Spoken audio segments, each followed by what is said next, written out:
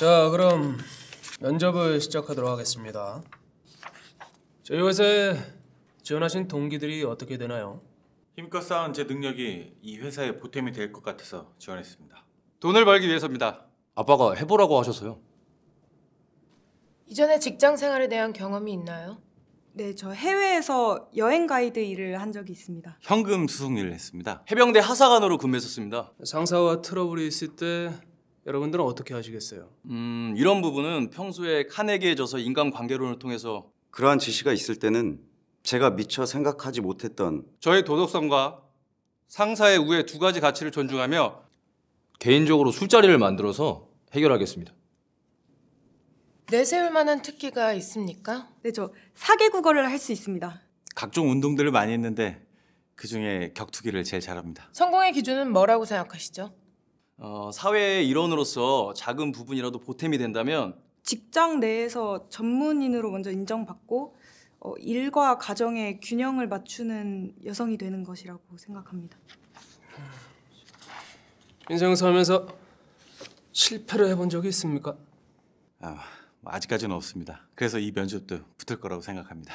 이 회사가 부도의 위기에 처한다면요? 투자자를 찾아서 제가 발로 열심히 뛰어다니겠습니다. 제가 채권자의 인질이 되겠습니다. 귀하를 꼭 채용해야 하는 이유는 뭘까요? 저는 위기를 이겨낼 수 있는 상황 판단력이 있습니다. 예를 들자면 아, 저 해외 가이드 일할 때 강도를 만난 적이 있는데 제가 기지를 발휘해서 위기를 벗어난 적이 있습니다. 이 회사에 꼭 들어오고 싶습니다. 저를 꼭 뽑아주십시오. 후회 없으실 겁니다. 이 회사의 무궁한 발전을 기원하고 반드시 회사의 보탬이 되겠습니다. 면접 보느라 수고하셨습니다. 곧 다시 뵙겠습니다. 끝났어요?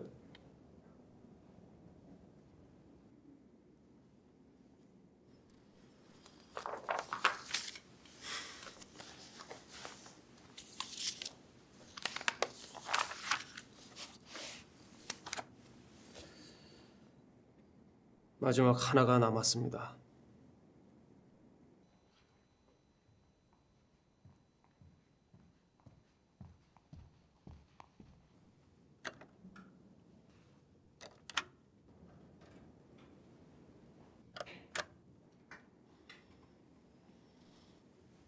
최종 미션을 알려드릴게요. 최종 미션은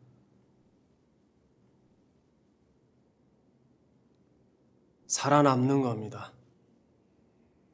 서로를 죽여서라도.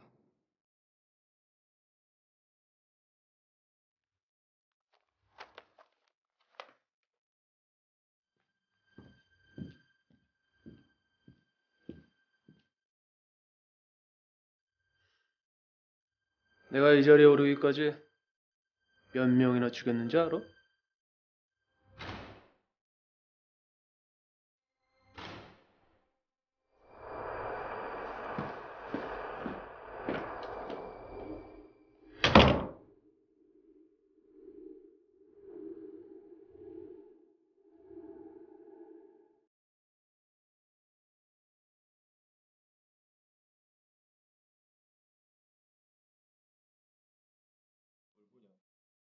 쫄았냐? 쫄기 뭘 쫄아 내가 이씨. 쫄았네 말까지 더듬고 뭐라는 거야? 아이씨 죽고 싶냐? 쳐봐 어?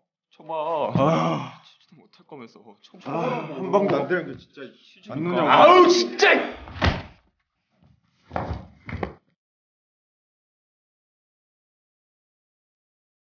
아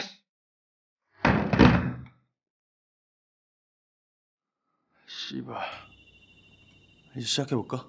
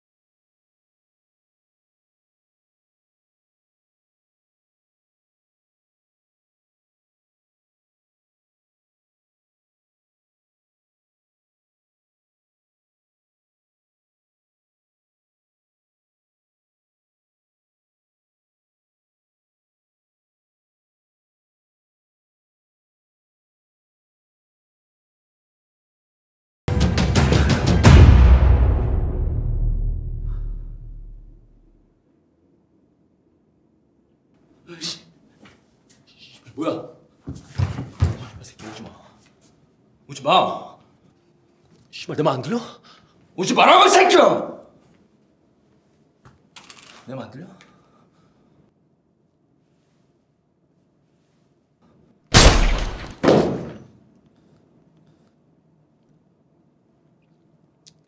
오지 말라 했잖아 이 씨발놈아.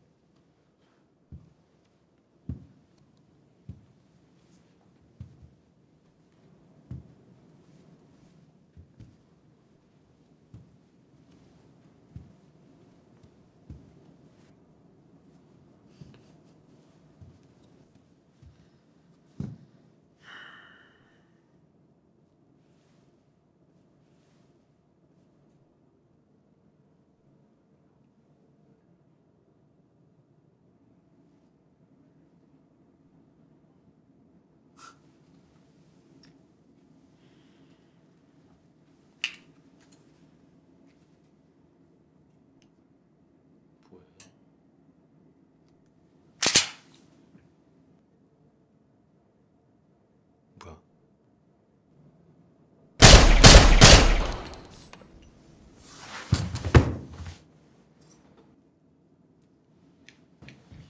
아이씨, 말 깜짝이야.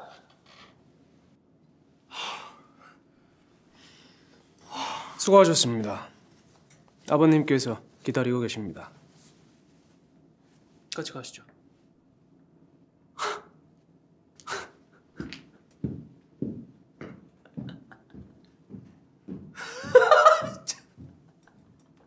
아이씨.